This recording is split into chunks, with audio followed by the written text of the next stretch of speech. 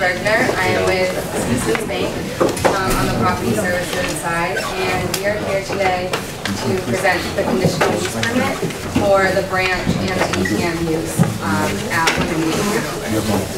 Um, So we've gone through numerous meetings through this process here, and today we are here to speak about and the bank's use of this space. This space gives us the opportunity to improve the way we service North End through the space itself and the services we provide within the bank.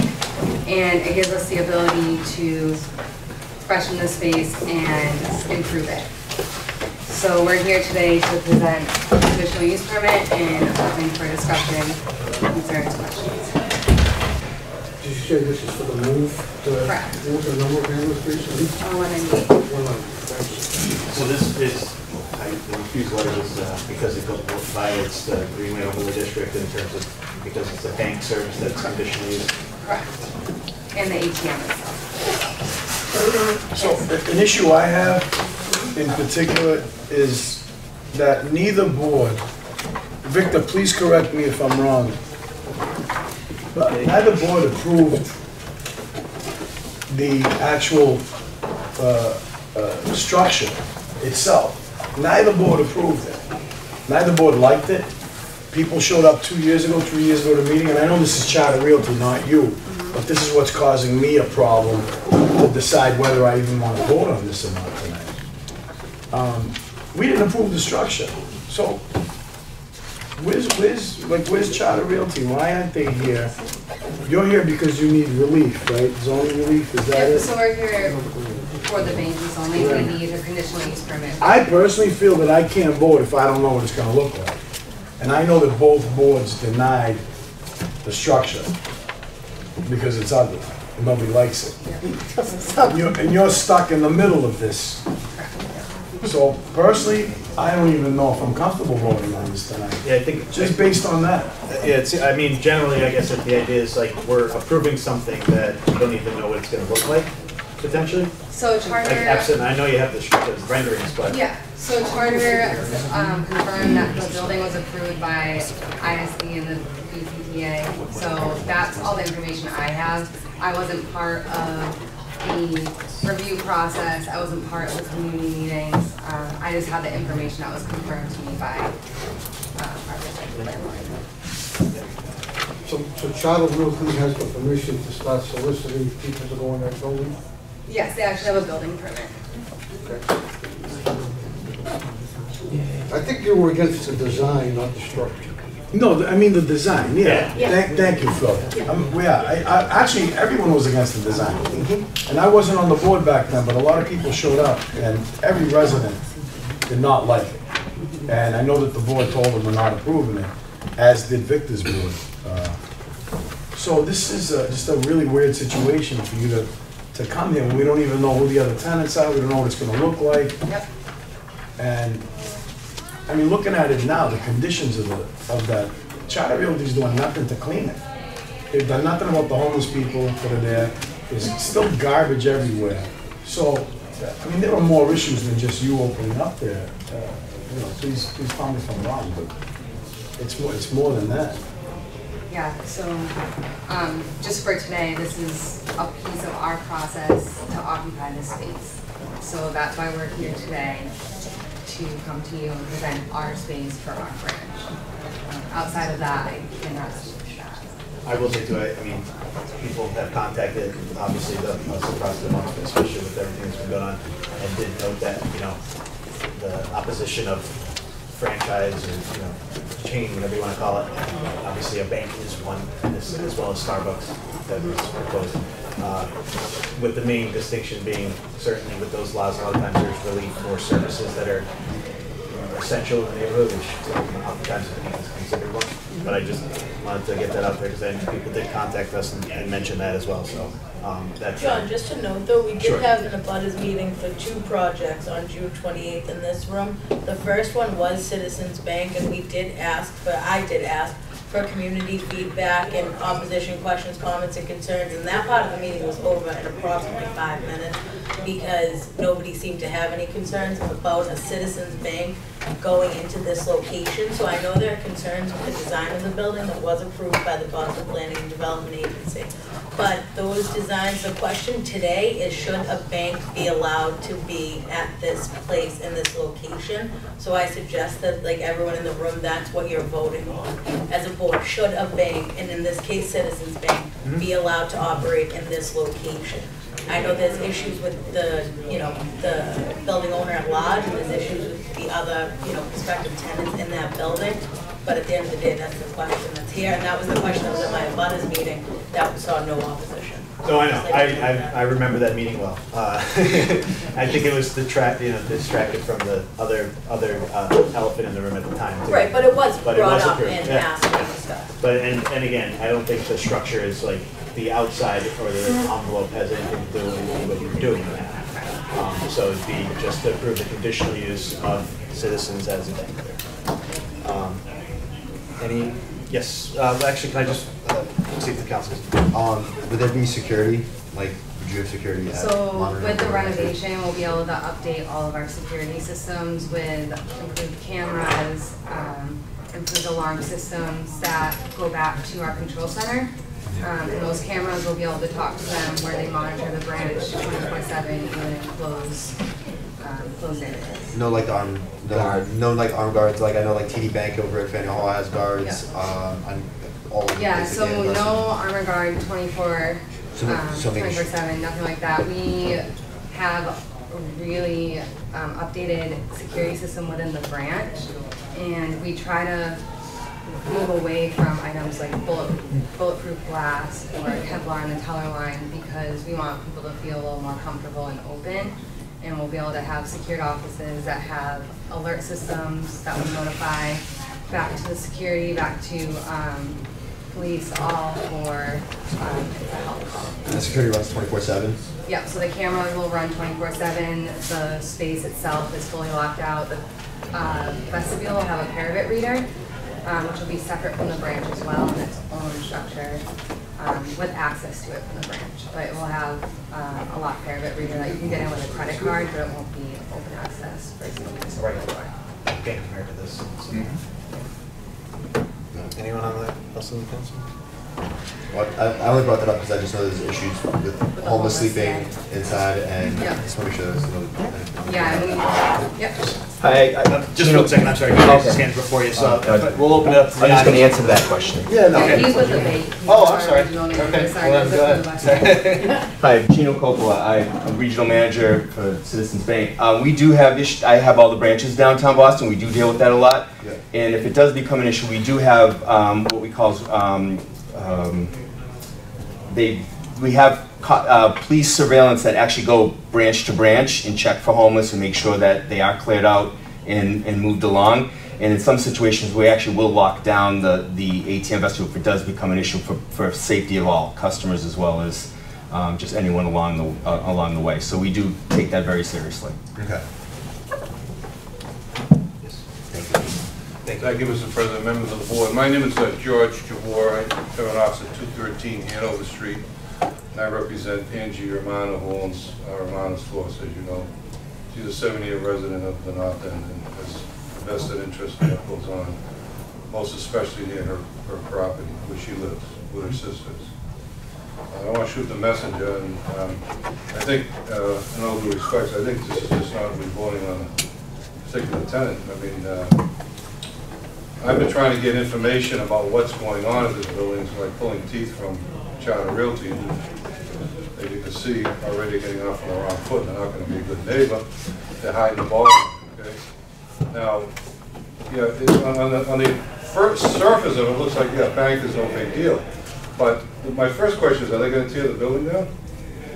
The existing structure? Yeah, Yes. when? You'll have to go to the charter realty for the exact That's the problem we have. Uh, Usually the owner comes and says, I want a particular use, not a tenant, which is like putting a cart before the horse. And incidentally, my client never got notice of the abutters meeting.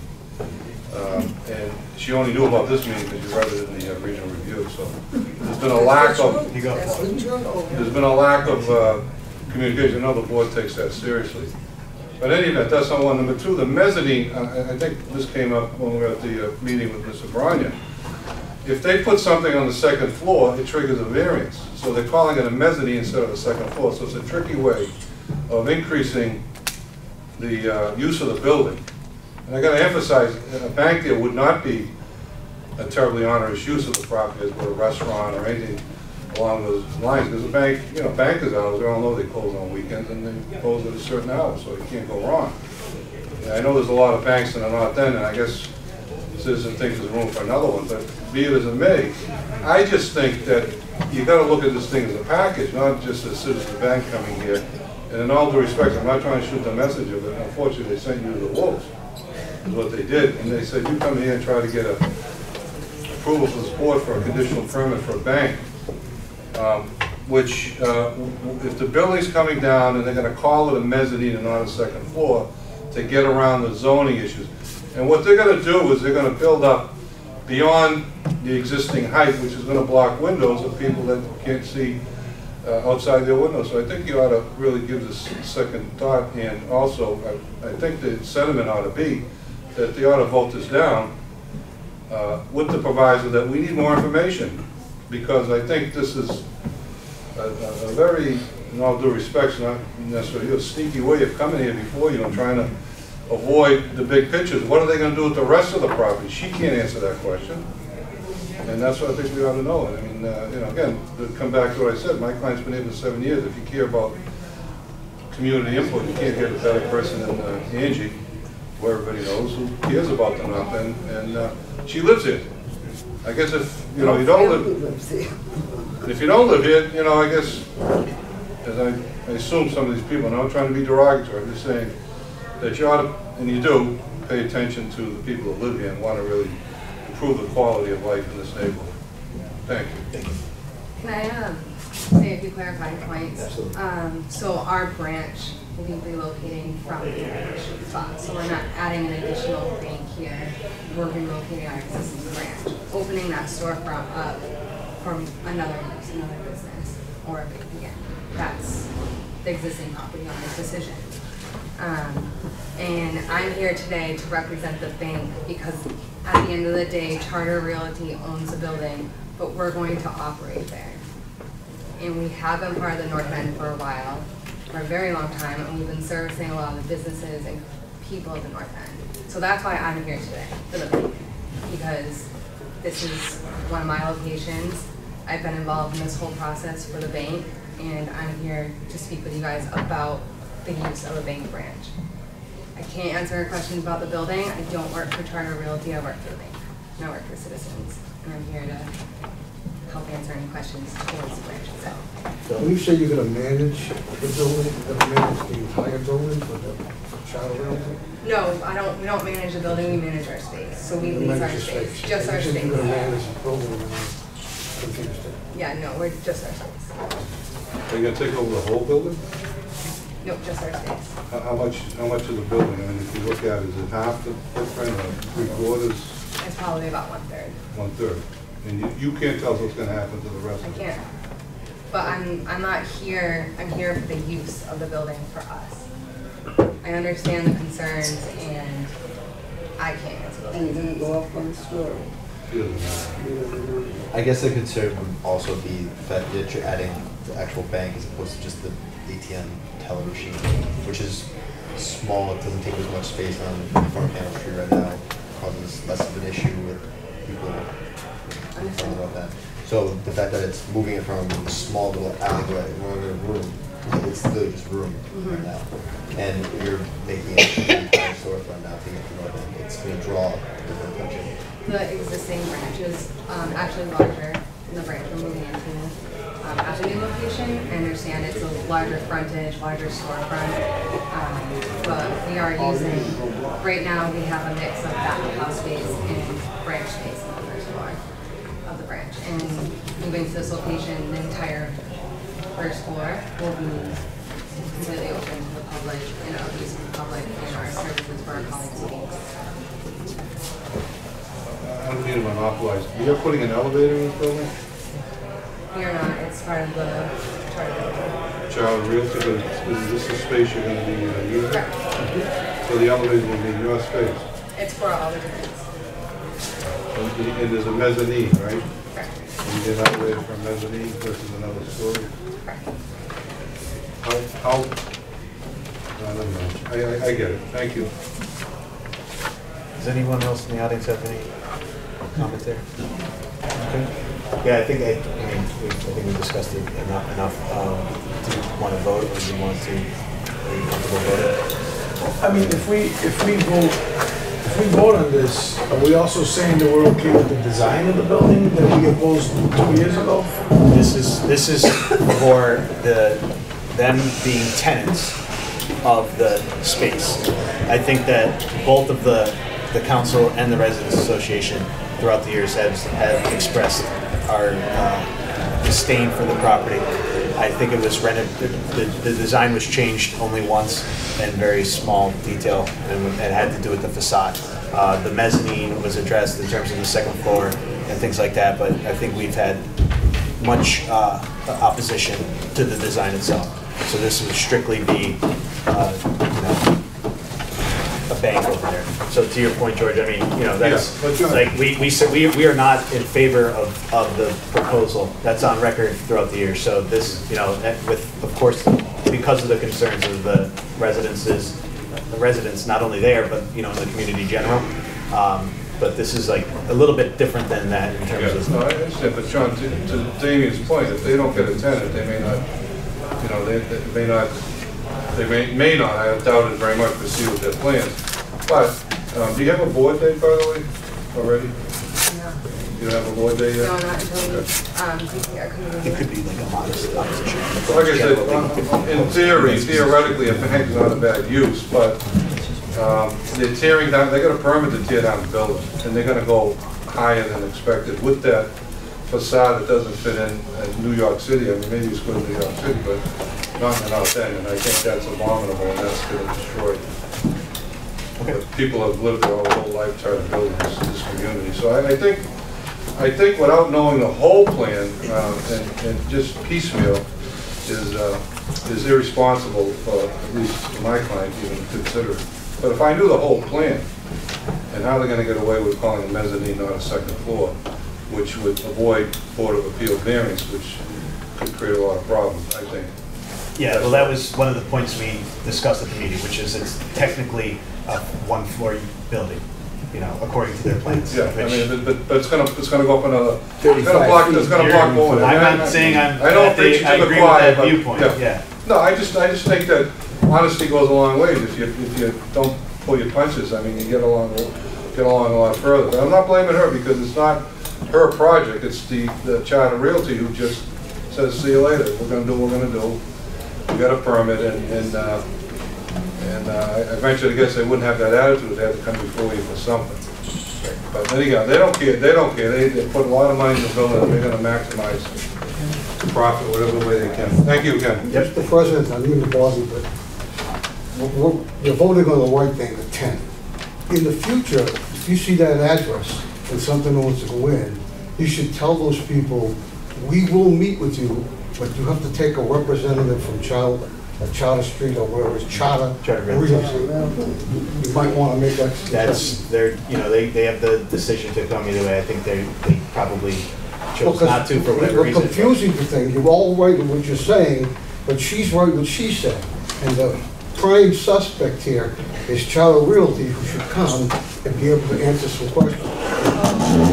Just to clarify, Charter did not make it tonight, but they will be here for um, Wednesday's meeting. What's the meeting Thursday? Residents Association. The 13th, yeah.